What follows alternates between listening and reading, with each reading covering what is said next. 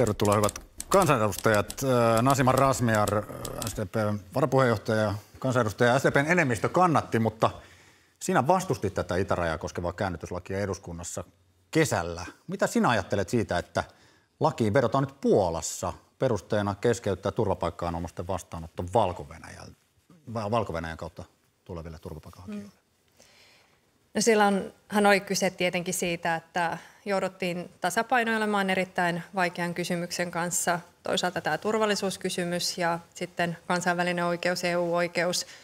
Ja kyllähän tämä riski oli olemassa, että Suomen käytäntöä tullaan myös katsomaan muualla Euroopassa.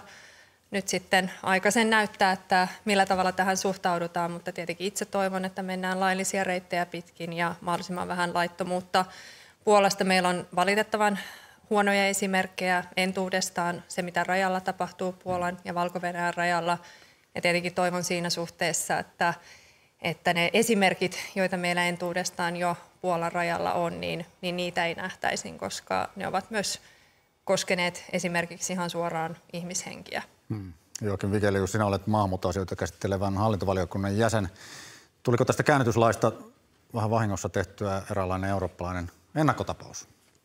Itse pidän tätä käännytyslakia eli lakia välineellistetyn maahantulon torjumiseksi nimenomaan hyvänä esimerkkinä siitä, että kansallisvaltiot pyrkivät puolustautumaan niin sanotun siirtolaisaseen käyttämistä vastaan. Eli meillähän on ihan näyttöä siitä, että Venäjä ja Valko-Venäjä käyttävät siirtolaisia kolmansista maista puskeakseen heitä Euroopan, Suomen, myös Puolan rajoilla. Ja se aiheuttaa valtavia sisäpoliittisia ongelmia, mutta myös ulkopoliittisia ongelmia ja paineita – meidän maillemme. He mm. tietävät, että tähän siirtolaisuuteen liittyy länsimaissa valtavia ongelmia. Ensinnäkään ihmiset eivät halua ottaa näin suuria määriä siirtolaisia, ja ihmiset haluavat, että kansallisvaltiot kykenevät päättämään omista rajoistaan. Mm. Kun esimerkiksi STPn Rasmier viittaa siihen, että emme halua nähdä tilannetta, mikä on Puolan ja valko rajalla, niin nimenomaan se tilanne on siellä paha. Siinä on yli 100 000 ihmistä. Valko-Venäjä, Valko-Venäjä ja Venäjä puskenut yli 100 000 ihmistä laittomasti Puolan rajan yli, ja Puola yrittää puolustaa Emme halua nähdä, että kukaan ihminen kuolee siellä. Emme, Eli, emmekä mm. halua myöskään nähdä tällaisia no niin. siirtolaisaseen käyttöä Eli jos, kansallisvaltiota Jos tämä on ennakkotapaus, niin tulkitsen, että mielestäni se on ikään kuin hyvä ennakkotapaus tai hyvä, hyvä esimerkki, jota seurata näin. No näin. Suomen hallitus ja Suomen eduskunnan selkeä enemmistö kannatti sitä, mm. että mm. jos kansallisvaltiota vastaan käytetään vihamielisen valtion toimesta siirtolaisasetta, niin silloin valtiolla pitää pystyä olemaan oikeus kieltäytyä vastaanottamasta turvapaikkahakemuksia, ja sitä käsittääkseni puolikin tässä pyrkii tekemään aivan Suomen tavoin. No niin, ja otetaan Eva Biode mukaan keskusteluun. Sinä äänestit ainoana hallituspuolueen kansanedustajana tätä käännytyslakia vastaan. Mm. Mitä sinä ajattelet tästä uudesta käänteestä, joka Puolasta nyt on kuultu? No, mielestäni se oli odotettu. Et paineita tietenkin on käyttää poliittisesti näitä tilanteita muiden tavoitteiden saavuttamiseksi. Et kyllähän minäkin ajattelen, että, että se Suomen tilanne oli siinä mielessä hankala, että, että tietenkin tämä hybridivaikuttaminen operaatio on ihan todellinen, mutta on tosi tärkeää miettiä tai muistaa se, että pakolais, kansa, kansallissuojelussa, ihmisten kansallisessa suojelussa niin ei koskaan saa niin kuin välineellistää niitä ihmisiä. Ja se, että Putisen teki on väärin, mutta se ei oikeuta meitä tekemästä samoin. Ja sen takia se ratkaiseva asia onkin, että – että, että me emme voi luopua yksittäisten ihmisten suojelemisesta vain sen takia, että Putin me, meihin yrittää vaikuttaa. Ja mm. ajattelenkin, että hän tavallaan onnistui siinä hänen hankkeessaan, että hän onnistui mm. muuttamaan meidän diskurssia ja keskustelua niin, että me myöskin halusimme yrittää muuttaa meidän lainsäädäntöä ää, vastoin ehkä, meidän aikaisempia oikeusvaltioperiaatteita. Ehkä e- erityisesti itse näen, että Suomi on oikeusvaltio ja me varmasti kaikki luotamme siihen, että oikeusvaltiona Suomi pysyy. Uh, mutta se, mitä itse pidin niin kuin valitettavana, toivon, että, että sitä ei lähdetä hyväksi käyttämään, että hyvämaineinen maa toimita tällä tavalla. Ja sitten meillä on toisaalta maita, joissa meillä on valitettavan huonoja esimerkkejä. Että sellaista Pandoran lipasta toivon, että tästä ei aukea. No niin, mennään vähän tähän laajempaan kuvaan, josta tuossa jo aiemmin Saila Heinikosken kanssa puhuimme. Kuten kuultiin tuossa aiemmin, niin EU:ssa on heitetty ilmoille ajatus siitä, että kielteisen turvapaikkapäätöksen saaneita ihmisiä voitaisiin siirtää kolmansiin maihin tällaisiin palautuskeskuksiin. Tämä asia kuuluu sisäministerin Lulu Ranteen tontille. Puolettoveri Jokin Vigelius, olet paikalla täällä. Mit, mitä sinä ajattelet tällaisesta palautuskeskusajatuksesta? Pidän sitä erittäin positiivisena, että perussuomalaiset on jo pitkään ajanut sitä ajatusta, että turvapaikkapolitiikka ja ylipäätään turvapaikkajärjestelmä pystyttäisiin ulkoistamaan kolmansiin maihin, koska tällainen nyky, nykymallinen järjestely, jossa Euroopan läpi vaellellaan käytännössä laittomasti tai rikkoen niitä periaatteita, mitä EUlla on näihin liittyen, niin se johtaa tällaiseen kaoottiseen ja anarkistiseen tilaan, että kansallisvaltiot päättää itse ottaa rajakontrollin takaisin. Meillä on useissa maissa otettu mm. käyttöön jo sisärajatarkastuksia juuri siksi, että ei, ei luoteta ensinnäkään, että EUn ulkorajat pitävät. Ja siihen on ihan perustellut syyt, minkä takia siihen ei luoteta, koska meillä on jälleen yli miljoona turvapaikanhakijaa vuositasolla saapumassa EU, EU-hun. Saapui viime vuonna, saapuu toissa vuonna ja saapuu itse asiassa tänäkin vuonna todennäköisesti miljoona turvapaikkahakemusta niin. pitkälti Lähi-idästä ja Pohjois-Afrikasta. Ja teidän mielestänne tämä pitäisi ulkoistaa jonnekin muualle. Itse asiassa taitaa olla hallituksen EU-vaikuttamisen kärkihankkeessakin tämä, että turvapaikanhakua pitäisi pyrkiä EUn siirtämään rajojensa ulkopuolelle. Eva Biode, mitä, mitä sinä ajattelet? No, mielestäni tässä unohtuu se, tai ehkä tässäkin puheenvuorossa jollain tavalla heijastuu ikään kuin käsitys, että Eurooppa olisi jotenkin erityisen tämän pakolaisongelman tai sen määrien ää, niin kuin kohteena. Kun ajatellaan, että maailmassa on yli 120 miljoonaa ihmistä, jotka joutuneet lähtemään kodeistaan eri syistä ja ovat todella vaikeissa olosuhteissa. Suurimmaksi osaksi he ovat lähialueillaan oman maan sisällä, mutta sitten naapurimaissa Afrikassa tai, tai muualla. Jos katsotaan Sudania tai Somalia tällä hetkellä – tilanne on aivan, aivan järkyttävä. Mutta ja tähän siinä mielessä, siinä mielessä, niin... siinä mielessä juuri näin, niin ehkä on hiukan outoa, että Eurooppa kokee tai että Suomi kokee, että meidän niin kuin, vastuumme olisi ylisuuri maailman pakolaisongelmista. Ja ajattelen, että meidän pitäisi ehkä sen sijaan kantaa kortemme kekoon ja ajatella, miten voimme auttaa heitä niissä maissa, joissa on vielä suurempi pakolaisongelma, mutta sitten myöskin kantaa se oma vastuumme. No, Joo, tässä on vaikea kuvitella, että olette samassa hallituksessa, koska hyvin Todella. kaksi erilaista linjaa se varmaan kuvastaa. Ja toki tässä olen hyvin pitkälti samaa mieltä, mitä Eva Biode sanoi. Minusta tässä on useita ongelmia. Tietenkin tämä Italian ja Albanian tilanne. Albania on maa, joka pyrkii EU-jäseneksi ja on erilaisia intressejä, mutta sitten kun puhutaan kolmansista maista, turvallisista kolmansista maista, niin mitkä ne maat ovat. Eli rupeeko sitten Espanja Marokon kanssa, Tunisian kanssa, toisaalta haluuko EU muodostaa tämmöisiä riippuvuussuhteita erityisesti maihin, jotka eivät ole demokraattisia, hmm. ää, jotka eivät noudata ihmisoikeussopimuksia. Ja sitten ajattelen, että tämä on vähän tämmöinen valuuttakysymys, että että rahasta vaihdetaan ihmisiä. Siinä on aika paljon kyseenalaistavia kohtia ainakin minun näkökulmastani jo ihan arvopohjankin kannalta, mutta ratkaisuja täytyy löytää, yhteisiä ratkaisuja, siihen osittain tämä EUn maahanmuuttopakti antaa, mutta en näe tässä sellaisia pitkäkestoisia ratkaisuja, jotka olisi nimenomaan EUn ja sellaisen kestävän maahanmuuttopolitiikan kannalta järkevää. Kiitos. Tässä on jo pari kertaa viitattu siihen, että mihin näitä tämmöisiä keskuksia mm. voitaisiin perustaa. Joakin Mikeli, jos minne laittaisit tämmöisen palautuskeskuksen? Mikä olisi se kolmas maa, EUn ulkopuolinen maa tai, tai alue? No Albania on yksi vaihtoehto siihen, mutta käytännössähän mahdollisuudet EUn ulkopuolella on hyvinkin laajoja. Siis käytännössä mikä tahansa maa, missä, mihin EUn sisällä Suomi, muut EU-maat pystyy jonkinlaista kontrollia asettamaan ja jotka on mm, sopimuskelpoisia, niin tällaisia mut keskuksia EU, pystyttäisiin mut järjestämään, mutta koskaan. haluaisin huomauttaa sitä, että sille on ihan perusteltu syy, minkä takia me halutaan, että turvapaikkajärjestelmä ja turvapaikkaprosessi hoidettaisiin EUn ulkopuolella. Se on, että valtaosa näistä noin miljoonasta turvapaikkahakemuksesta, joita vuosittain EU-maihin jätetään, niistä enemmistö johtaa kielteiseen päätökseen.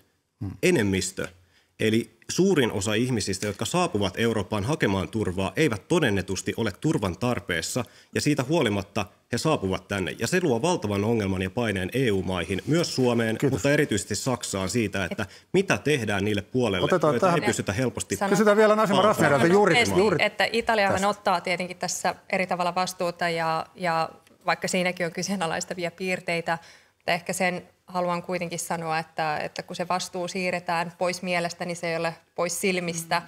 Eli EU ei voi ulkoistaa omaa vastuutaan ja, ja uskon, että tämä on ehkä se ajattelu, mitä, mitä varmaan perussuomalaisessa osassa oikeistossa, äärioikeistossa Euroopassa ajatellaan osittain että tehdään juuri sen vuoksi, sen poliittisen tilanteen vuoksi, mutta EU on oma vastuunsa ja sitä ei voi pakoilla. Ja tämä Albanian tilannehan on aika erilainen Italian kanssa. Italiahan kantaa sen prosessin mm. vastuun. He kantaa myöskin näistä myönteisistä kielteistä, kielteisistä päätöksistä ja niiden palauttamisesta. Sen lisäksi niin sehän ei koske, vaikka tuntuu siltä, että heitä on tosi monta, niin jos vertaa Italiaan vastaanottolukuihin, niin tässä on kysymys tosi pienestä määrästä, mm. että se ei ratkaise myöskään Italian tilannetta. Kiitos. Jatketaan maahanmuuton parissa, mutta vaihdetaan vähän näkökulmaa sinne Suomen omaan pakolaiskiintiöön.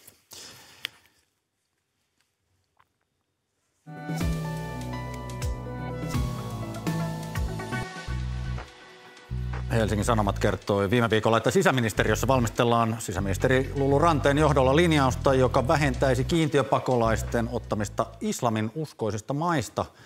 Me kysyimme YK-pakolaisjärjestöltä UNHCRltä näkemystä tähän asiaan. Uudelleen sijoittamisen tulisi perustua tarpeeseen, eikä uskonnon, sukupuolen tai etnisen alkuperän kaltaisiin ominaisuuksiin – ja mehän ollaan YK-järjestö, niin mehän ei tietenkään voida niin omasta puolestamme diskriminoida ketään sukupuolen tai etnisen tai uskonnon perusteella.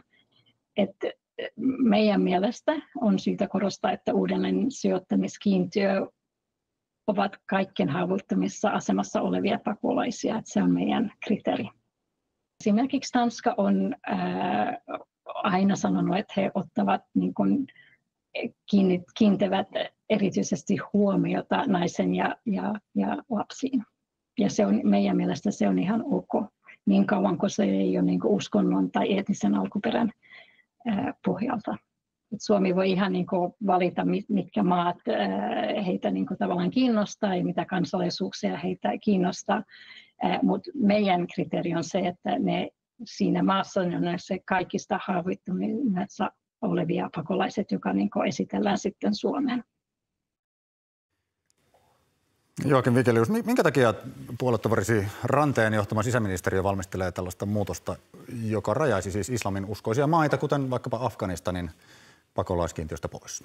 Mm, minä en ensinnäkään näe, että kyseessä on mikään uskontoon perustava rajaus, vaan meillä jo lähtökohtaisesti lainsäädännöstä, erityisesti nyt ulkomaalaislaista, sen 92 pykälästä nousee esille se, että meidän tulee arvioida kotoutumisen edellytyksiä osana kiintiöpakolaisprosessia. Eli käytännössä ihmiset, jotka valitaan pakolaiskiintiön kautta Suomeen, niin heidän kotoutumisen edellytyksiä pitäisi jo nykyisen lainsäädännön puitteissa arvioida osana sitä prosessia ja pitäisin aika sekä maalaisjärkisenä että taloudellisena ja tolkullisena, että me otamme huomioon harjoittaessamme tämmöistä humanitaarista maahanmuuttoa myös niitä kotoutumisen edellytyksiä.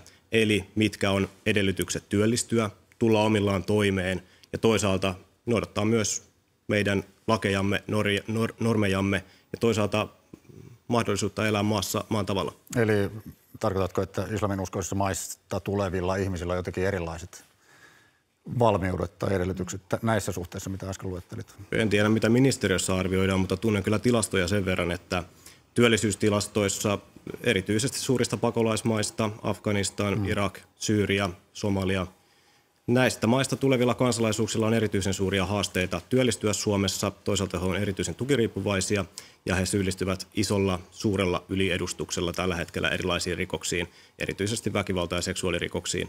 Ja näkisin, että on yhteiskunnan etu, että me mietimme, että miten me voimme estää tällaisia ikäviä kotoutumisen ongelma, ongelmailmiöitä.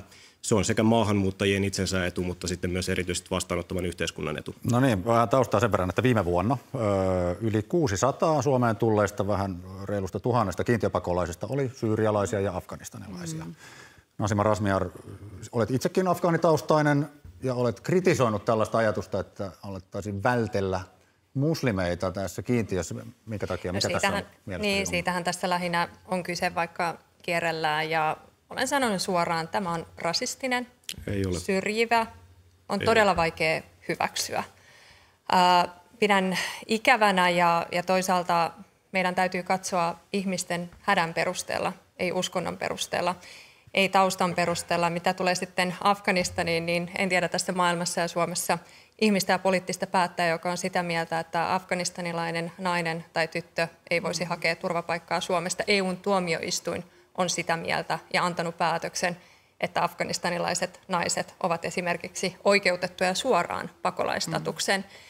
Musta tässä on kyse jälleen kerran perussuomalaisten täysin tästä perinteisestä. Heitetään näitä juttuja, tehdään identiteettipolitiikkaa, katsotaan mikä hallituksessa rupeaa oikein kunnolla ärsyttämään, leikitään pääministerin arvovallalla. Tämä on jatkumoa siitä, mitä te teette valitettavasti hallituksessa, mutta kysymys on se, että miksi RKP hyväksyy tällaista miksi pääministeripuolue kokoomus hyväksyy no, tällaista toimintaa? Kysytään Eva Biaudelta. Tiedän, että olet puolueessasi olet sielläkin ehkä hieman vähemmistössä en usko monessa kysym- asiassa, en, en mutta, usko mutta todellakaan tästä en näissä kysymyksissä. nimenomaisesta kysymyksestä, mitä Joo. ajattelet siitä, että kannattaako? Haluan korjata, Kannat... en todellakaan usko, että on vähemmistössä meidän puolueessa. Meillä on ihan selkeä No sanotaanko näin, että... Tämä asia ei ole käsitelty hallituksessa eikä mitenkään voisi olla sellainen, joka hallitus hyväksyisi meidän mm Tämä oli juuri se kysymys, että, että kannattaisiko RKP tällaista linjausta, joka... Ei, ei tietenkään, eikä sitä ole käsitelty yhdessä vielä. Mutta se päivä mielestäni, tulee, se tulee mielestäni, mielestäni olisi tärkeää, että, että Jokin Vigelius ei ehkä, ei ehkä ajattele, että kiintiöpakolainen tai se, että uudelleen sijoitetaan pakolaisia pakolaisleireiltä, niin se on nimenomaan humanitaarinen teko. Siinä ei ole kysymys mm. siitä, että ke, ke, ketä on helppo auttaa tai ketä Juhan ei. Me ollaan nimenomaan perinteisesti, siis läpi monien hallitusten, me ollaan nimenomaan haluttu, koska me ajatellaan, että Suomessa on esimerkiksi korkeatasoinen lääketiede, autettu vaikeavammaisia lapsia, jotka edellyttää useita leikkauksia ja niin edelleen – ja, ja mielestäni nyt kun hallitus on pienentänyt ö, ö, pakolaiskiintiötä, niin sitä suuremmalla syyllä meidän tulee kantaa se Kyllä, ja se on oma, niin on, on todella mm. puolittanut, mutta siitä suuremmalla mm. syyllä meidän, on, meidän pitää kantaa se vastuu, että todella autetaan niitä, jotka tarvitsevat sitä enem, eniten. Että, että tällaisia syrjiviä perusteita ei tietenkään, ne ei mahdu tällaiseen äh, turvapaikkapolitiikkaan. Annetaan Vigeliuksen vastata tässä tosiaan puhuttiin, että olisi rasistinen linjaus ja ja näin poispäin. Mitä? Kuten yritin jo edellä todeta, niin minä en näe, että ensinnäkään mikään hallitus olisi valmistelemassa mitään syrjintäperustetta, vaan erilaisia kohdennuksia, miten voidaan kohdentaa pakolaiskiintiö siten, että se palvelee paitsi näitä hädänalaisia ihmisiä, joita tuodaan tänne toki vähemmän kuin aiemmilla hallituskausilla, pitkälti perussuomalaisten ansiosta, mutta että miten myös ne, jotka tänne valikoidaan, niin kotoutuvat tänne mahdollisimman hyvin. Ja haluan nyt kysyä erityisesti edustaja Piudelta ja edustaja Rasmiarilta myös sitä, että onko teidän auttamisellenne jonkinlaisia rajoja? SDP on puhunut tuhannesta kiintiöpakolaisesta. Muistan edustaja Piuden suunnilleen tässä studiossa puhuneen jopa kymmenestä tuhannesta kiintiöpakolaisesta. Jo teidän välillänne tuntuu olevan aika massiivisia eroja siinä, että kuinka inhimillisiä tai auttavaisia ollaan valmiita olemaan. Mutta minä näen ja tarkastelen tätä asiaa meidän Suomen kantokyvyn kannalta – me, ma, maailmassa, no niin, maailmassa ei voi ajatella, että me ollaan mukana maailmassa on päätöstä yli, ilman, että afganinaiset on mukana meidän kiintiöpakolaisten joukossa. Että maailmassa on, on yli 100 miljoonaa ihmistä, joka on joutunut jättämään kotinsa ja yli 30 miljoonaa ihmistä, jotka on paineet kotimaastaan. Me autamme joka tapauksessa vain marginaalisen pientä osuutta maailman hädänalaisista ihmisistä. Eikö meidän kannattaisi kohdentaa sitä ihmisiin, jotka pystyvät Ajat... kotoutumaan kaikista parhaiten suomalaiseen yhteiskuntaan. Pakolaisia on paljon. Eikö se olisi taloudellista, no. eikö se olisi tolkullista, eikö no. se olisi järjellistä maahanmuuttopolitiikkaa? Eli ajattelua siitä, että kun kaikkia ei voida auttaa, niin ketään ei tarvitse auttaa. Ei, vaan siis tehän niitä, jotka kaikkia. On kyse sitten kiintiöpakolaisista, kehitysavusta. Perussuomalaisethan ei hyväksy näitä. Ja varmasti teidän maailmassanne ja näkökulmassanne se, että maahanmuuttoa ratkaistaan sillä, että maahanmuuttoa ei olisi. Se olisi mm. varmasti se kaikista helpoin ratkaisu, mutta todellisuushan on muita, että me muut joudumme miettimään, että mitkä ne keinot ovat, mitkä ne ratkaisut ovat. Ja, ja silloin tietenkin puhutaan kotoutumisesta ja puhutaan siitä, että ihmiset todella integroituvat, oppivat suomen kielen, pystyvät työllistymään. Että Kaikista niistä, joista Suomia. te valitettavasti olette leikkaamassa. Eli, eli se, että me haluamme parempaa maahanmuuttopolitiikkaa, ikään kuin te ajattelette, että te omistatte maahanmuuttopolitiikkaa siinä mielessä, että kerrotte myös näistä negatiivisista piirteistä, eikä niinkään, että mitkä ne ratkaisut ovat, niin siinä tietenkin meidän lähtökohdat ovat hyvin erilaisia. Kiitos. Nyt Eeva Biodelta haluan kysyä ja muistuttaa, että sinä olit hallitusneuvottelussa mukana juuri siinä maahanmuuttopöydässä, jossa näitä asioita linjattiin muun muassa tästä pakolaiskiintiön pienentämisestä. Ja sanoit äsken, että Afganin naiset ovat eräänlainen kynnyskysymys. No, Onko se, ymmärsinkö nyt oikein tuon, että jos afgaaninaisia ei enää oteta kiintiössä, niin RKP kävelee hallituksesta Mi- pois. Mielestäni on aivan mahdoton ajatella, jos ajattelee, mikä meidän suuri panostus on Afgaani, Afganistanin kriisinhallinta joukoissa ja operaatioissa. Ja se tilanne, mikä siellä on nyt, jossa siis naisilla ei ole minkäänlaisia oikeuksia, ei edes niin kuin eläin.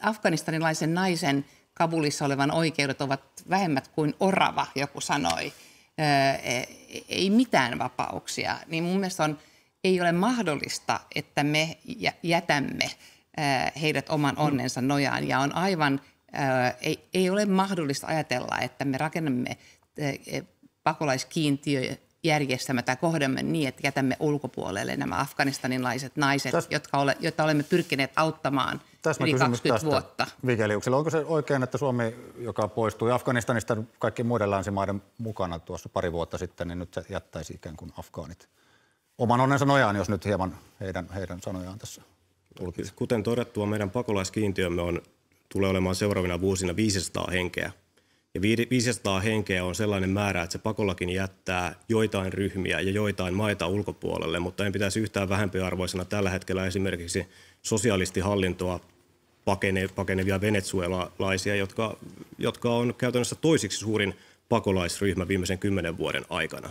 Eikö heitä voitaisi ottaa pakolaiskiintiön ohella tänne Suomeen joidenkin muiden maiden sijasta. Itse, itse nä- ei ole mikään peruste. Ei ole peruste syrjiä, Eikä sen tarvitse eikä olla, mutta kotoutumisen edellytykset ovat täysin legitiimi peruste jo meidän nykyisen lainsäädäntömmekin mukaan valikoida kiintiöpakolaisia. Sanon sen verran, että onneksi UNHCRssä mm. osataan ja tehdään tätä. Ja pidän erittäin valitettavana, että siinä mielessähän te onnistutte siinä, että te vedätte aina nämä keskustelut tälläkin viikolla, näinäkin kuukausina leikataan tuhansilta suomalaisilta, Kiitos. köyhiltä, perheiltä, eläkeläisiltä. Kiitos, ja se, että käännetään keskustelu pakolaisiin, että mistä päin maailmaa tuodaan, niin se Tämä varmasti sopii teidän pelikirjaan. keskustelu joudutaan päättämään tähän, koska aika on loppunut. Joakim Vigelius, Eva Biode ja Nasima Rasmer, kiitos. kiitos paljon teille Oikein paljon kiitoksia. Kiitos. kiitos.